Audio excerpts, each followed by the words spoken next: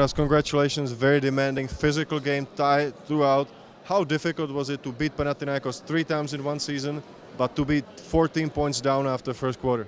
Uh, it's very difficult. Uh, we gave so many uh, energy and uh, strength, you know, for this game, uh, especially when we were down 14 uh, against Panathinaikos. To come back, you need to give not 100% but 150% of your maximum.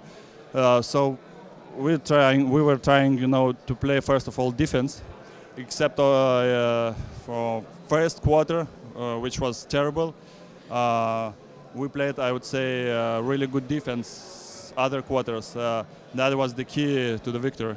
Do you think they made a lot of adjustments if you compare this game to the two games that you played in the regular season? Okay, they, their main, uh, uh let's see, skill is uh, pick and roll, uh, and it was not surprised. They were trying to play pick and rolls, you know, and in first quarter mm, they were making everything. They did a great job, and uh, we were terrible on defense. They they, they made open shots, uh, uh, layups. So we, we didn't understand uh, what happened. But uh, okay, after first quarter, we know that we can play on offense and defense. So we decided to give everything first of all on defense. In general, I can say that we didn't play good tonight. Uh, but the most important is victory and we'll try to rest uh, in this one day and to give everything uh, on Sunday. Šarūnas Jasikevičius got his first start of the season for Panathinaikos. Were you surprised that he was in the starting lineup? You know, this is a coach decision. Uh, so they have 12 great players, and uh, maybe it was not surprise, you know, uh, because uh, they tried and they killed us in first quarter with pick and rolls.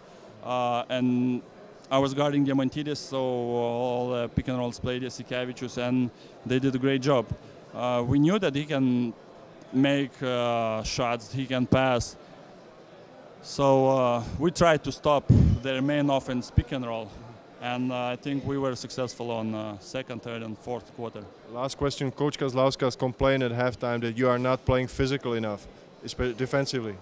Do you think how the second half played out? There was a lot of tough plays going on around the basket. Was this the most physical game of the season?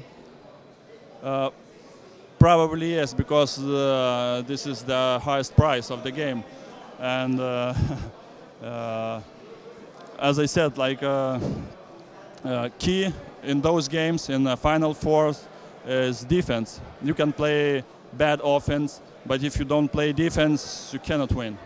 Thank you very much and good luck on Sunday. Thank you.